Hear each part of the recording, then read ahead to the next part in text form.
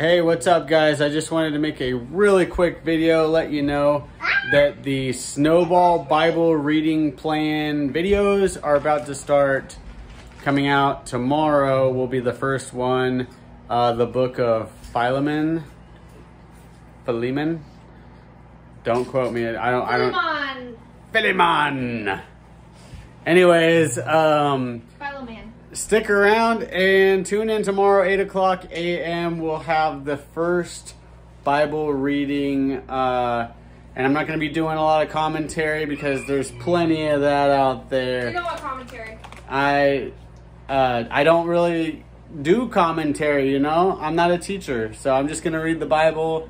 You guys feel free. You're more than welcome. I encourage you to follow along in your own bibles and uh, tune in because I just wanted to share, you know, I want to read through the whole Bible and I want you guys to be there in the comments to be like, yeah, stick with it or whatever.